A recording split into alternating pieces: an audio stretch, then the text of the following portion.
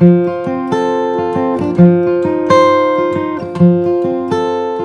European Development Days are an annual event that brings together leaders, policymakers, researchers, experts, civil society activists and so on from all over Europe and all over the world to talk about the future development agenda.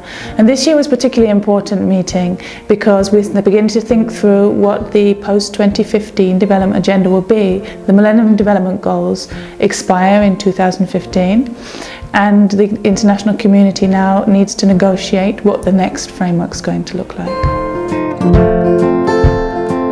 Obviously, there were many different um, perspectives put forward, but what we saw is there's some points of consensus among the different participants who were speaking at the days.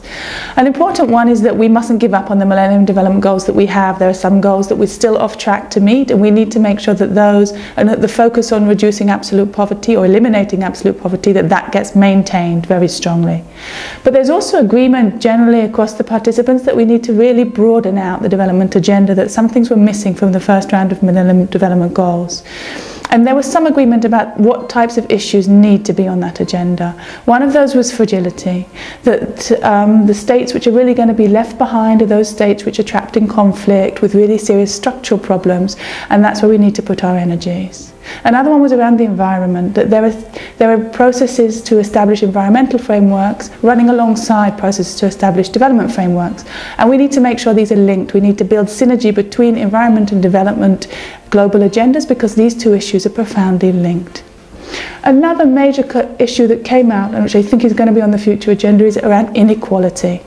The inequality within countries, which is going to grow as many countries grow, and inequality be between countries, which is a source of resentment and, and challenges. So again, this is something which has been left out. It's highly politically controversial, but it needs to be there. And finally, I think there was, there was acknowledgement from many of the leaders who were speaking that we need to really look again at the, at the global rules around um, how we manage finances, how we manage um, tax, issues of corruption, issues of resource management and so on, to make sure that the global rules, around trade of course, to make sure that the global rules really work for developing countries and support them to grow and to reduce poverty, rather than perhaps um, supporting corruption or bad governance. I think this new development agenda brings some interesting challenges and opportunities for the EU. In terms of opportunities, the EU is well placed to lead on a number of these issues. For example, fragility, the EU has a policy framework that can address fragility, it's shown political commitment to do so, and it's really engaged in this debate and can provide leadership.